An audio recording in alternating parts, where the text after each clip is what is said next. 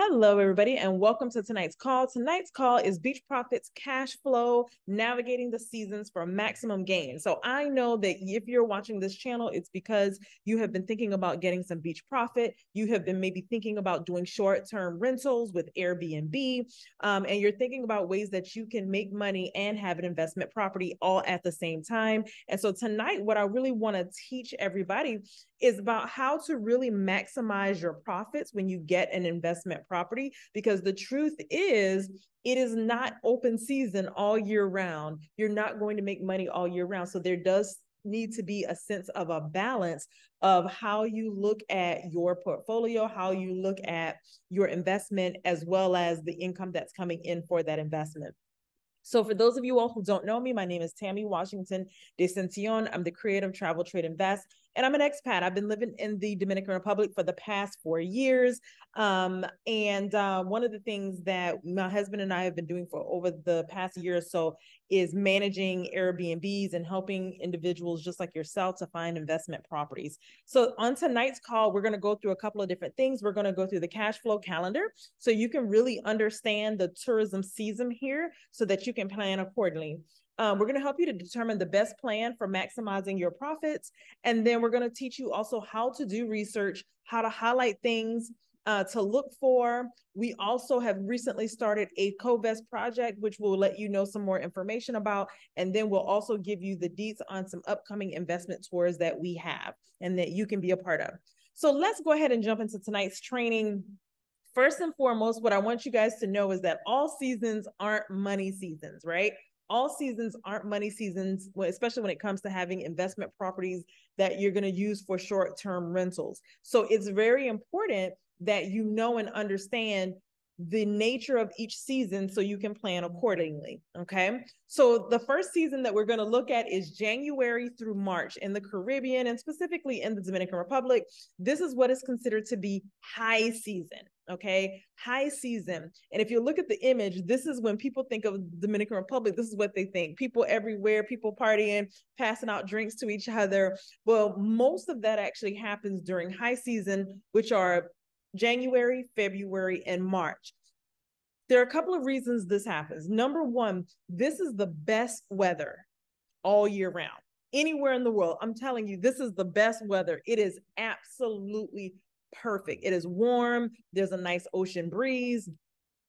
I promise you, living here year round, January through March, that's when we have the absolute best weather season of the year. Okay. And because that is the best weather season of the year, we have what's called snowbirds. Now, I know, I, I hope that's not offensive to anyone, but here in the Caribbean, that's what we call people um, from cold countries like Europe, Russia, Canada, these people have basically been experiencing the cold and the snow since October. So, usually by January or February, they are so sick and tired of cold. They're so sick and tired of the snow that they are literally looking to escape. And so, there are a lot of people who will literally come here January through March um, you'll see a lot of Russians, a lot of French people, um, lots and lots of uh, Europeans, as I just said, a lot of people from Germany, you'll see these people where they will come and they'll stay for a month or two in an Airbnb because they're they're they're just like I can't take it anymore. And that's literally what they'll say.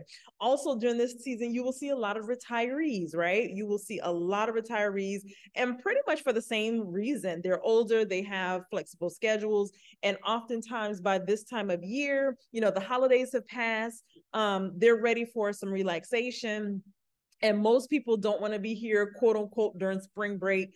Um, and so you will see a lot of retirees here during that season as well.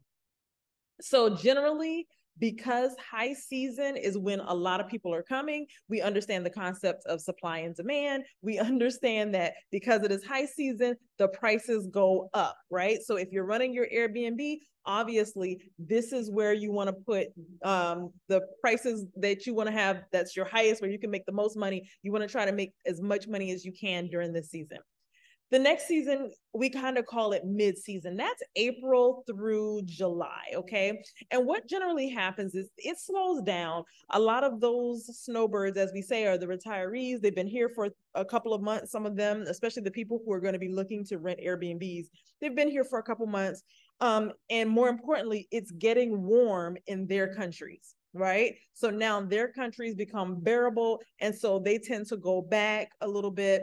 Um, at the, you know when you start talking about april and may children are you know finishing up school. So you don't have a lot of people really coming. You do have a surge around spring break. So again that um that little period between march and april where a lot of people are going on spring break you will see a surge uh, but after that, you will see kind of a lull. You'll see your numbers start to go down because people really aren't traveling as much. All right. And that's generally about April to May. Then what happens? Um, during uh May. Children start to get out of school. Sometimes it's like June now, actually. And so around June or July, you'll see things kind of pick up a little bit, especially when it comes to families, because families generally go on vacation during the summertime. So you will see a lot of Americans. I find like I find a lot of Americans here during the summertime. And I think that's because we just think in terms of, oh, it's summer, we go on lots of vacations, right? Um, so people definitely take advantage of summer break. But here's the last and final reason why midseason does have a bit of a lull. Right around the end of May, unfortunately, our beaches, if you look at the picture, um, this is what everybody thinks that the Dominican Republic looks like all year round. That's not always true. Um, towards May ish, towards the end of May, going into June and July, the beaches get lots and lots of seaweed. And from what I understand, that happens all over the Caribbean. Even Florida has been complaining about it as well, like just global warming. There's just a lot more seaweed on the beaches. Now, we do have people out here in Punta Cana because Punta Cana is a tourist town. So literally you will see trucks in the morning going up and down the beaches, clearing out the seaweed, but sometimes it still gets really bad. Sometimes it's piles and piles. And you can come one week and there are piles and piles of seaweed and you can come the next week and it'll be clear because it's the weather guys you know it's it's really it's not anything that anyone can really do about it except clean it up when it comes. So those are some of the reasons why you will see during that season a lot of people will choose not to um, come. And then also just a little side note for those of you all you know who want to do airbnb here it's really good to make sure that the property that you purchase has a pool, right? Because June and July, living here, we know the beaches are covered with seaweed. Yes, you can go to the beach, you can have fun, but sometimes a lot of us will go to the pool instead um, because, you know, you don't have to deal with that, right? So that is something to, to think about. There are some people who don't like going to the beach, even though they want to come to the Caribbean. All right, let's talk about the next season, which is low season. Now, low season happens between August and October every single year. And as you can imagine, why is August, you know, the low season?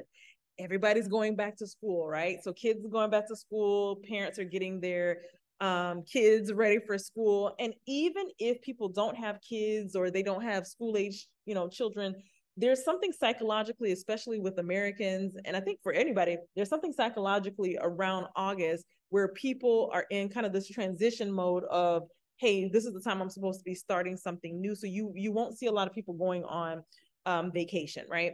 Um, the second thing about august to october this is officially hurricane season. Um, as i am uh, as i am sitting here recording this video today is august the 25th right and we just had a week long tropical storm where pretty much, you know, we didn't have everything shut down, like grocery stores and things like that stayed open, but it pretty much rained for three days. And like my husband, for example, works in tourism. And so he's been home all week because we've been going through a tropical storm. So that is another reason why people um, don't generally visit and because it is low season, guess what happens? Generally, prices drop, right? So if you're going to be an owner, you can expect that around this time, you'll probably see less bookings than you normally would. Um, and one of the things that you will see is people will start to lower their prices to get people in um, to actually you know, so that they can continue to make money, right? Um, the other thing is if you want to flip that and say, hey, when should I come to the Dominican Republic? This is the time to come. Normally, I'll be honest with you guys, I've been here for four years and like we get some storms, but we had we've had one bad hurricane. in the four years that I've been here. And within a week, they pretty much had Punta Cana, and it was bad, but they they pretty much had Punta Cana all cleaned up. Um, and so normally I would say like in September, you're really it's it's really not bad, but you're gonna get really great prices. Even the plane uh tickets are a lot cheaper. So just a note for yourselves if you want to travel here, that is a great season to come. Also, if you're somebody who doesn't like beaches to be crowded, when you think, oh, I'm going to go on vacation to a beach and you're thinking, I'm going to be walking down the beach like this couple, low season is the time that you'll be able to do something like that. Okay. And so, one thing to also consider when it comes to mid season and low season, what some individuals will do they will actually take their property property off of the short-term rental sites like Airbnb and VRBO. They'll take their property off of those sites so that they can do three month or six month rentals. Okay. And so for some people, that works very well for them. Um, knowing that, hey, I'm not going to have as many Airbnb guests. So I'm going to go ahead and put it, you know, on Facebook Marketplace or something like that, because there might be somebody who's going to be traveling here and they're like, hey, I want to spend the summer in the Dominican Republic. You know i want to take my kids away for the entire summer. And um and they're not going to want to stay on a resort if they do something like that. So that happens a lot. As remote work continues you know for a while there because of 2020 remote work became really really big so lots of people were moving abroad because they could basically work from anywhere we are seeing um companies are kind of stopping that now however there's a lot of people still do it with vpns and things like that so just know that there will be people, you know, at times who may want to do a six month lease. Um, and maybe your property is the property that they'll want to rent. All right. And so the last season, guys, is the holiday season. Okay. And I do want to make sure to understand that um, they do not celebrate uh, Thanksgiving here. That is an American holiday. Uh, so if you come here in October, they barely celebrate uh, uh, Halloween a little bit, but definitely not on the level that the US does. So for the most part, if you come here at the beginning of October, you're going to see Christmas trees and you're going to see uh, Christmas. You're going to see Christmas for basically three months. Okay. So this is considered to be the holiday season, the Christmas season, November through December. Um, and so what happens around this time of year, this to me is shocking. It's not as many people here as in high season, but you will definitely see a lot of people here, which is very surprising to me. Um, and there's a couple of reasons. Number one, people get end of the year bonuses. So a lot of times, and sometimes people will get them early, right? So they can do their Christmas shopping. And so you'll have a lot of people we're seeing more and more where people are saying, Hey, I'm not going to give my kids a whole bunch of presents. I'm going to give them one present and I'm going to travel. I'm going to give them a two week holiday in the Dominican Republic for Christmas. Like that literally happened last year. I had two of my friends come into town the same exact week and it was Christmas week, you know, and they were here. Um, and it wasn't until I moved here to Punta Cana that I realized how many people actually travel during the holidays. They don't want to be home. I'm the opposite, right? I want to, I like family traditions. I want to be with my mom and my dad and my cousins. I want to be with everybody. But no, there are a lot of people who like to have Christmas at the beach. Mind blowing. Um, and so you will see a spike in activity and prices. So you want to make sure that when you're setting up your VRBO, your Airbnb, when you're setting those things up, that you go ahead and put in on those weeks that you go ahead and raise the prices a little bit.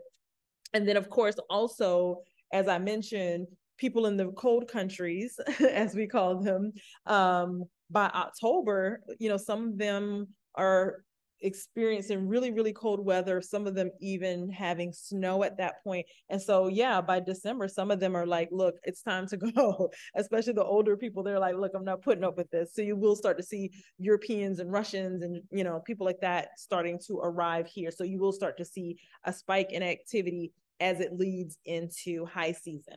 So those are the four different seasons when it comes to making money off of Airbnb here in Punta Cana. Um, so how do we really maximize your property's potential? Okay. Okay. So first and foremost, um, I mentioned some of these as I was going through. Okay. So make sure that you have your own Airbnb pricing calendar. You can do this, or if you're going to have somebody be a manager for you, they can do it as well. You raise their prices during high season, you, you lower them a bit during mid season. Um, definitely, you can lower your prices or do the three to six month rentals during uh, low season, as I mentioned. And then, of course, go through your calendar at the beginning of the year, pick out all the holiday weeks, and just go ahead and raise the prices a bit because you know you'll be able to make more money during those weeks because there's more demand. All right. So then how do you research to be able to say, well, what should I be charging? Right.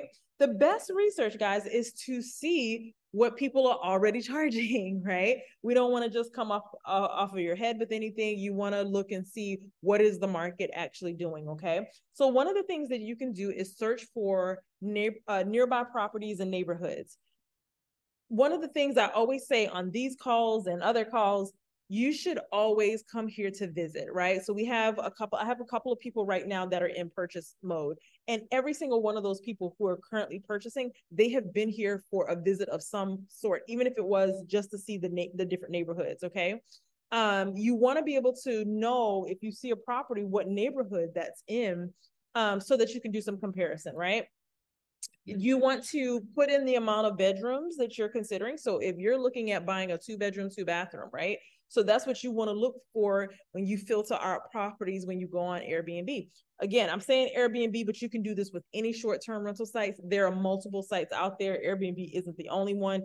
It's just this one is the most well known. So that's why I'm using this as an example. Um, and then look at their prices, look at what they're charging, but also look at the number of bookings that they're getting. Okay. Because you may have somebody who's charging $2,000 a night, but maybe they're not getting any bookings with that price point. So look and see how booked up their calendar is. We have um, one of the properties that we manage, it's about a five minute walk uh, to the beach and it's priced very low right? So it's a nice property in a nice area, walk to the beach and it's it's priced very low and it it turns, okay? It turns. Um so one person leaving, the next person is, you know, coming in, flying in, right? Um so you can look at okay, do I want to have a lot of activity? Do I do I want to make more however you want to do it, but what you want to look at though is at that price point, how many bookings are they actually getting? Okay.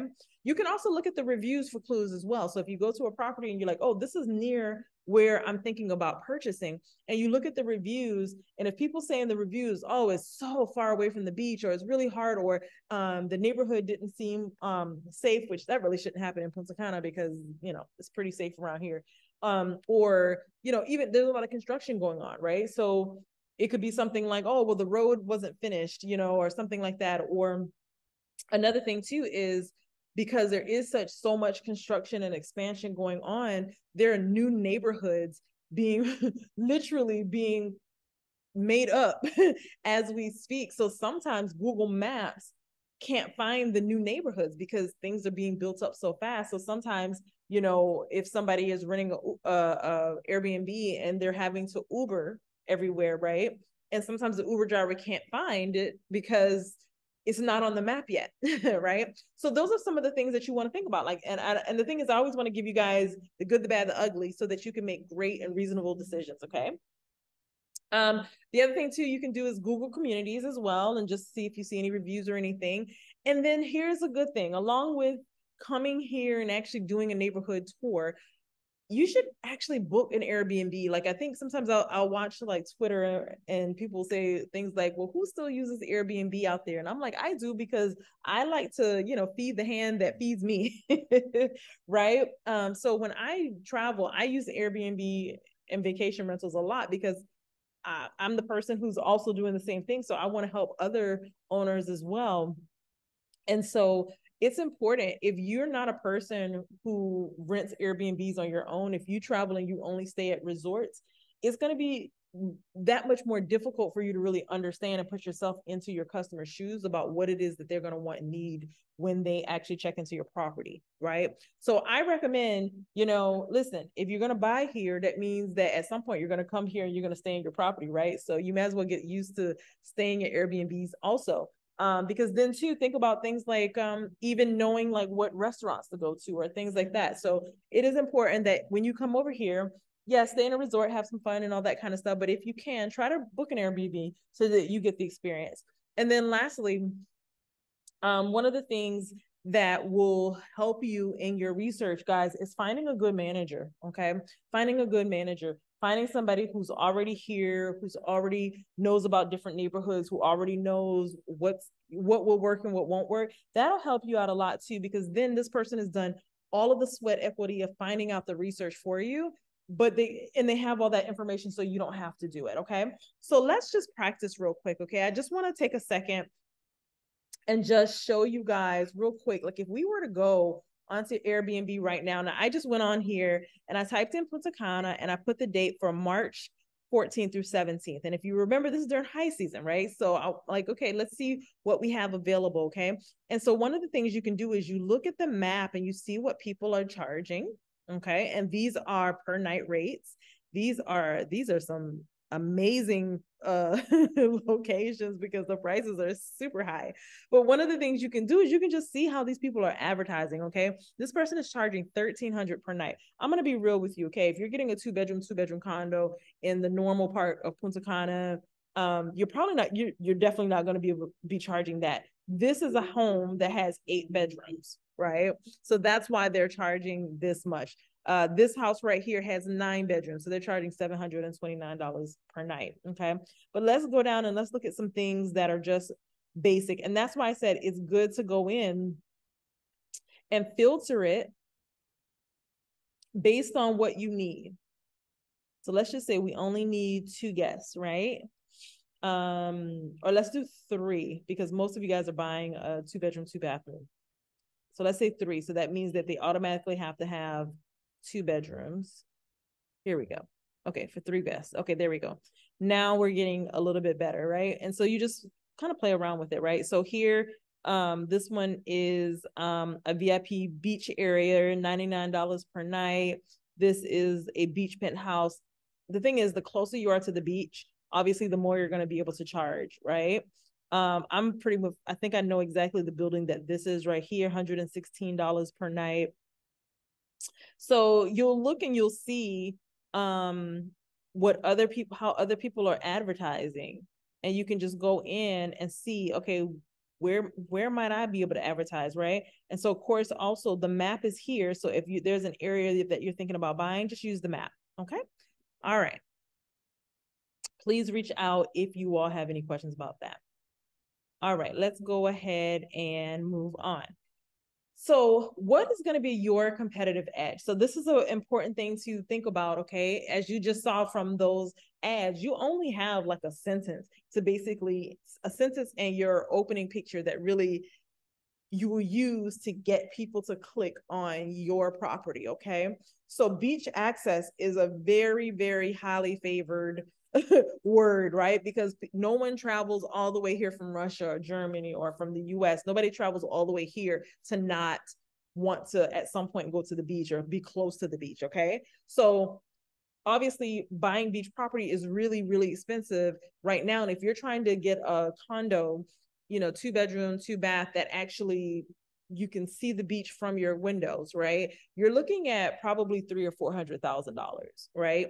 Um, a lot of people, you know, want to kind of stay in that 100 or 200 uh, thousand dollar range. So what I recommend is if you cannot give your people beach access, make the beach convenient. So there's several properties right now that we have and that we're working with where they're not on the beach, right? They they're actually probably 10, 15 minutes away from the beach. You have to actually drive to get there. However, they have beach access. They have shuttles that go to the beach. They have a beach club when people get there you know so there are ways that you can actually um there are ways that you can actually make the beach convenient so even if you don't have beach access your people will still be happy um, restaurants and nightlife, right? That's another thing. You're gonna always get that question when people are about to check in a couple of days before. They're gonna say, "How far away is restaurants and nightlife?" You know, and so um, you want to number one try to get some place that is close to that has stuff there um, because when people go on vacation, even if they're in an Airbnb, oftentimes they don't want to cook. You know, the resorts, everybody knows the food isn't really that great. So a lot of people opt to go Airbnb style because they know that they can go to the restaurants here and the restaurants are going to be much better. And by the time they put it all together, they're probably going to pay about the same as they would to stay on a resort, but the food will be a lot better. Right. So being walking distance to restaurants or quick Uber rides. That's the other thing too that you can do as well. So there's a property that we manage that you really you can't walk to the beach, but we have beach access, meaning that um, anybody that comes to that property, we actually have a pass where they can sit on the beach at the resort um, at the end of that neighborhood. Um, and so that's that's kind of a selling point. However, in order to get to the beach, they're probably going to take an Uber in order to get there. And so what I normally say when people ask the question of, "Hey, um, is it close to the beach?" I'll say, "Hey, it's a it's a two dollar Uber ride or a two minute Uber ride to get to the beach." Okay, so no, it's not going to be walking distance, but if you get in a car, you'll be there in three minutes. You know, not a problem.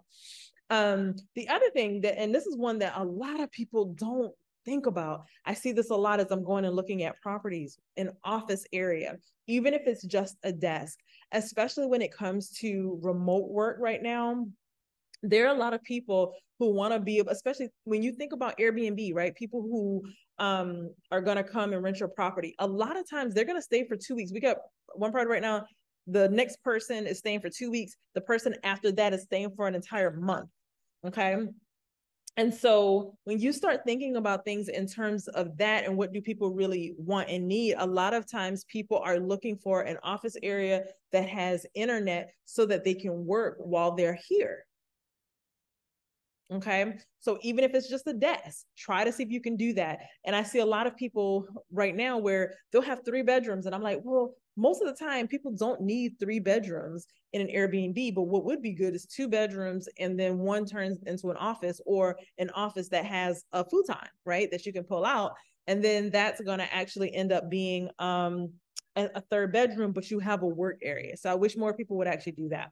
Um, the other thing too is I know for me personally, I hate, and I use Airbnb a lot as well as VRBO. Um, but I hate when people have crazy cleaning rules. And I've actually contacted Airbnb and canceled an Airbnb, got them to cancel one because after I booked it, the person sent me all of these this stuff. And I was like, this is ridiculous. If I'm paying to stay here, I should not have to do all of this, right? Um, an Airbnb in that case, you know, because it kind of got weird through text message um they were they were actually willing to cancel my reservation with that person um so yeah guys if you're going to be charging a cleaning fee which you will don't give them crazy cleaning rules. Hire somebody to clean and keep it at that right? That's what that's what you got to think about. And so, what are others that you can think of? So, if you're watching this replay, go ahead and write down a couple things that you can think of that'll give you the competitive edge. So, let's look at what are some money drainers in the business that you do want to consider. Okay. Number one, electricity. Electricity is actually very, very expensive here. Very expensive. More expensive, I think, than the US. I pay probably four times what I pay in the US. Okay. So, here in the Dominican Republic, in some cities, not so much in Punta but in some cities, you will see people pay people charge their Airbnb guests for electricity. I personally don't believe in that. And I don't charge people for electricity because I just believe it's good customer service.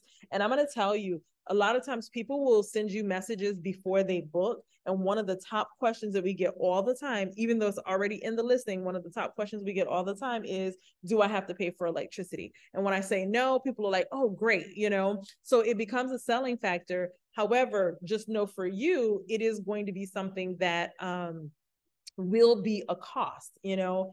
Uh, one of the properties like when we got the electricity bill in may it was $300 for one month right? Because it got hot and i guess the the airbnb guests they just were just running the air. So um so just know that. So there is something here in in punta cana that a lot of people use especially people who do airbnb. They're not here you know they're doing short-term rentals. They do what's called prepaid electricity. Now, living with it all the time, I hate it, but I do see why people will do it for Airbnb guests. And so, what that means is basically, um, if you're like, okay, this person is going to be here for three days, they shouldn't need more than, I don't know, let's say $60 worth of electricity based on what we know. Okay. Um, and so you go or your manager, whoever prepays and puts $60 worth of electricity on the account. Um, and then if they run out of electricity, and yes, all the electricity will go out. If they run out of electricity, they then have to contact you to get more on. And so if they do at that point, then you charge them. So that's a, another way that people do it. But like I said, I, I don't like when people charge for electricity and I have canceled Airbnbs here uh, because someone was charging me electricity. I, I just won't do it.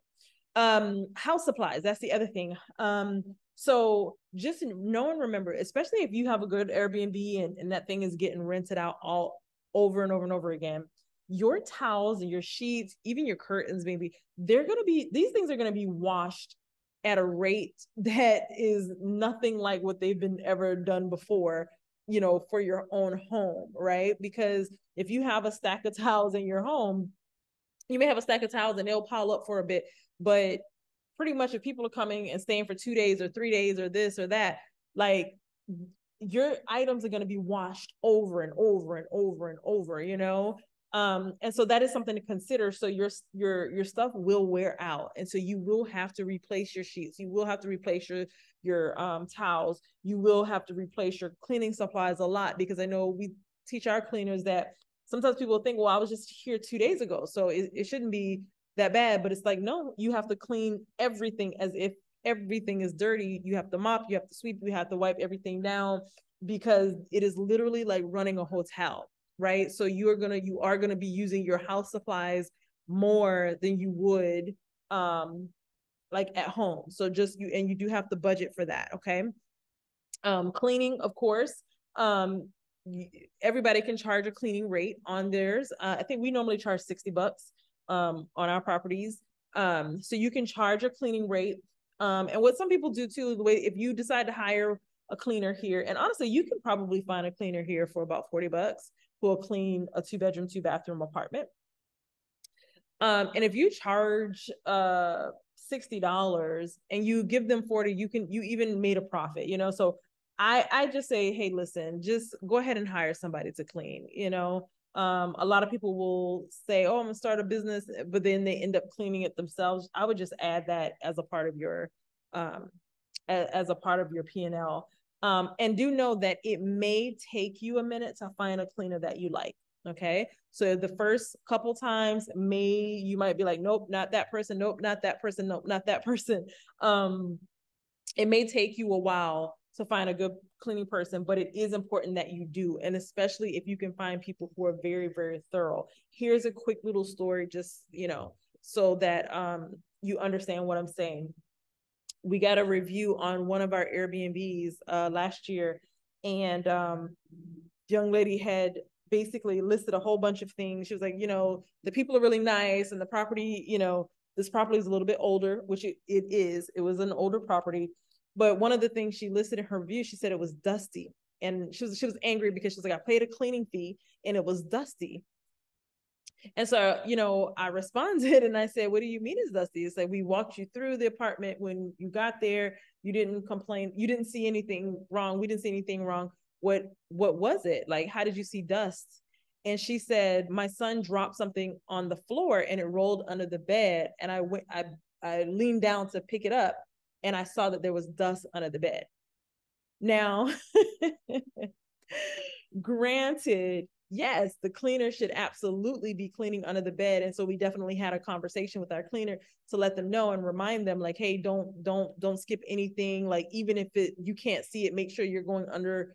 You know, you, you know what I'm saying? Because this is how petty people are. To be quite honest, it's it's almost like really that's what you're complaining about but people will find things to complain about right um i don't know if she wanted money or so i don't know what what it was but but she she was like, oh, it was dusty, but she didn't say, oh, it was dusty under the bed. I'm like, okay.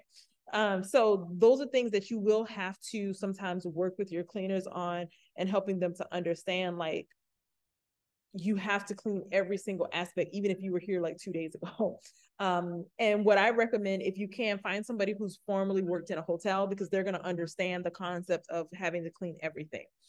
Um, the other thing when it comes to um, money going out is going to be management because obviously most of you guys are still in the US. You're not going to be moving here anytime soon. But um, management, there are lots of management companies out here. It's going to be the same thing with cleaners. You just have to take a minute. Sometimes you might take a minute to find one that you really like working with. Um, and usually they are going to charge about 30% of your income. Okay. So if you make a thousand dollars for the for the month, they're gonna charge three hundred dollars um for their fee. Okay. Um, and then the other money drainer, the other thing that can really take money out of your business, guys, is you visiting at the wrong time. So if you decide to come when everybody else is here and you decide to come in high season, you're actually going to cut into your profits. So it is important that you make sure that you come and visit your property when nobody's really there. So summertime or September, October, those are going to be great times for you to come visit. We actually have one of our properties right now where the owners are there and they're there for um, 60 days for about two months. Um, but they decided to come this time of year because the rest of the year, you know, their property is booked up. All right. So to sum it up, guys, know your profit seasons and plan for it. We gave you a great plan for that. Know the area that you're buying and the potential ROI by doing the research. Look for alternative ways to give them what they want. And then remember that management is a really great idea. They're going to already kind of know how things work. They probably already have uh, cleaners on board. Um, and ultimately, they'll be able to help you with some of the things that we discussed today. Okay. All right. So, speaking of um, having a great property and getting started with investing, guys, we do have a co-vest right now. And for those of you guys who don't know what a co-vest is, please go back and watch um, our video from last week where I explained to you this. But overall, basically, to sum it up, we have a program for those of you guys who might be new investors or you're not ready to make a full financial commitment. Um, in our co-vest program, we pair you up with other investors so that you can own beach property um, here in the Dominican Republic. We currently have a co-vest called Sun Village Co-vest 832. Um, we've already reserved this property. We already have two investors and we're just looking for two more couple of things with this property that you're going to receive as an owner. You get 24 hour security. You um you get um a second floor gym. There's going to be two very large pools. There is going to be a mini mart as well as a reserve i'm sorry a restaurant with parking. These are all things that are very important when it comes to listing your property. It's also going to be eco-friendly and it's going to have a lot of green and vegetation around. It is a one bedroom, one bath. It is fully furnished. Okay. So when this building is complete in 2025, it will be there ready to go. Literally, you can go the next day and you can actually stay in your property. Okay. And of course, because you're sharing it with four other investors, you guys can work out the schedule of when you all want to be able to come and visit the property so that you can stay for free. Right. Um, so it is fully furnished with the top of the line appliances. And we did take advantage of pre-build pricing. So we were looking for something under a hundred thousand dollars.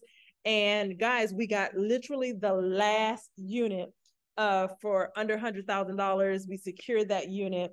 Um, and because of that, guys, we have a very manageable payment plan. And remember what I said that most of these properties, by the time they are completed in two years, you've gained 30 to 50% in equity. Okay. You also get access to a Boardwalk Beach Club. All right. And so at the Boardwalk Beach Club, you and your guests will have private beach access with lounge chairs. You're going to have an indoor lounge area with a private bar, lockers um, that give you peace of mind. How many of you have ever been to the beach and you're like, oh, excuse me, can you please watch my stuff for me while I go in the water? Can you please watch my stuff while I go up here to order some food somewhere? Okay. We actually have lockers so you don't have to worry about doing any of that, which honestly, though, in Punta Cana is so safe. People, we leave our stuff all the time. Okay. Um, and then they do, they will have private bathrooms and showers. How many of you hate going to beach bathrooms? I hate it. I absolutely hate going to beach bathrooms. That's why I like living close to the ocean so I can just walk home when I need to go to the bathroom.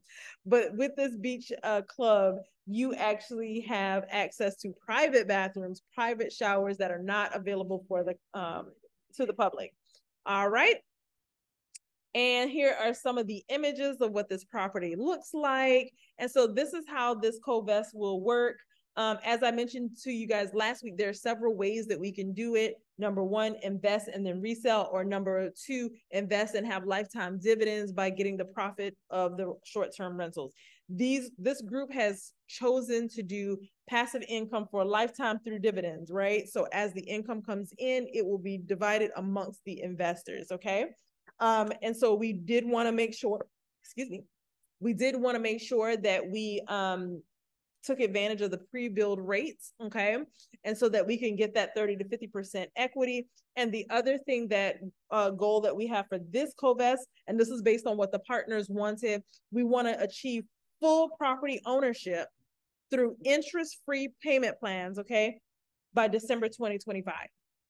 So as you're going to see with the payment plan, by the time this is done two years from now, the property will be completely paid off. And so from that point on, you are simply making back your investment. So how does it work? If you want to be a part of this uh co-vest, it's 60, it's I put 6,600. It's actually 6,500.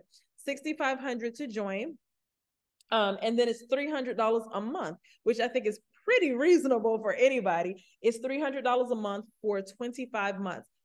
The projected plan for this building to be completed is December 2025. Okay.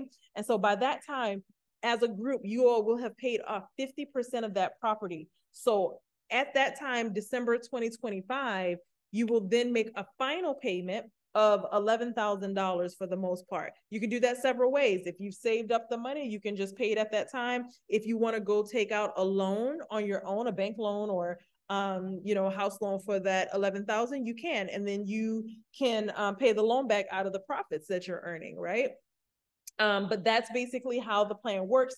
And what some of the women uh, in this group have opted to do, part of the reason we kept the monthly payments low is so that if people want to, they can pay more little bit by little bit so that at the end, when that final payment comes, they've already knocked down a lot of it. Okay.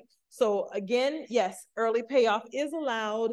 And there is something else to take into consideration. After COVID 19, the Dominican government basically gave permission for developers to increase the price after the contract has been signed. So, what does that mean for you?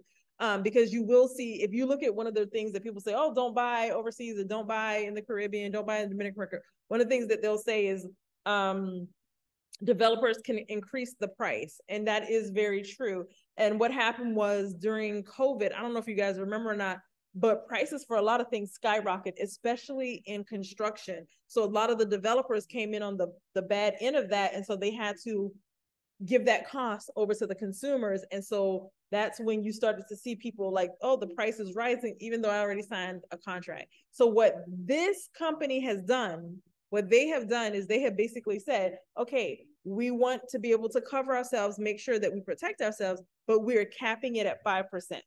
So if there is an increase, they are capping it at 5%. So it'll, and 5% of 96,000 guys, um, you're talking about maybe $4,000. And so between the, the four investors, that's like one payment basically. Okay.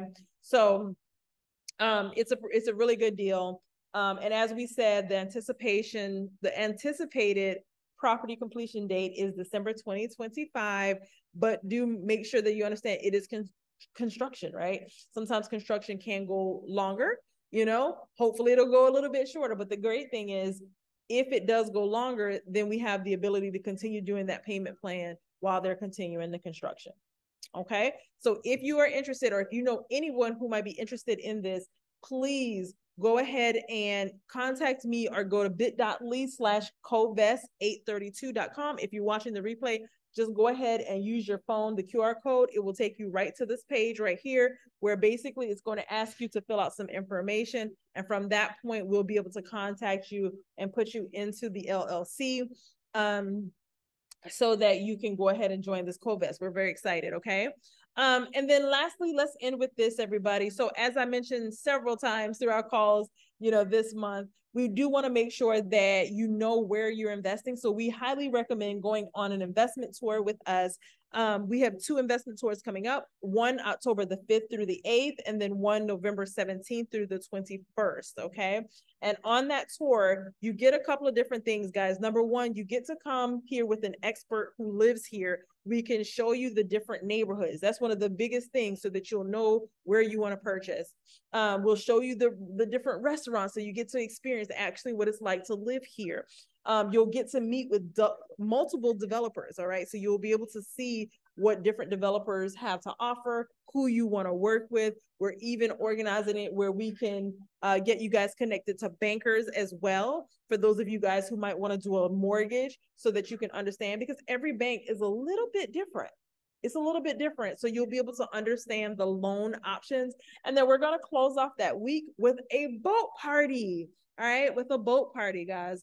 And that's all a part of that um, plan. And so if you want to register for that investment tour, please go to traveltradeinvest.com slash events. The pricing, everything is there. And this month right here, for anybody who signs up for our upcoming investment tours in October or November, you will get a free five day, four night stay in Cabo San Lucas. All right, we are paying for your hotel stay. The only thing you have to pay for are the taxes and fees by the hotel, but the stay is completely free with your reservation for the investment tour.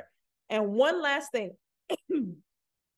one last thing we've been able to get for you guys. I'm so excited about this. Some developers here in Punta Cana do have what's called fly and buy, which means if you come here you do an investment tour with us and you decide to buy one of the properties from um, the main developer that we work with, they will actually pay for your travel expenses up to $1,500. So they will pay for your travel expenses up to $1,500. That's a pretty good deal. So for the investment tour, guys, not only will you get all of the things that we listed, you'll basically leave understanding exactly how to buy your property and to see everything that you need to see, but you'll also get a free trip to Cabo San Lucas as well as the trip that you're paying for. You uh, could potentially get that covered as well, all for free. I love it. I love it. So thank you guys so much for the call. I'm excited. I cannot wait to meet you guys here in person. I can't wait to take you to the beach. All right. And definitely join us next week for our next call, which will be another topic on investing here in the Dominican Republic. I'm Tammy Washington Dion, and thank you, thank you, thank you for taking some time to visit Travel, Trade, Invest.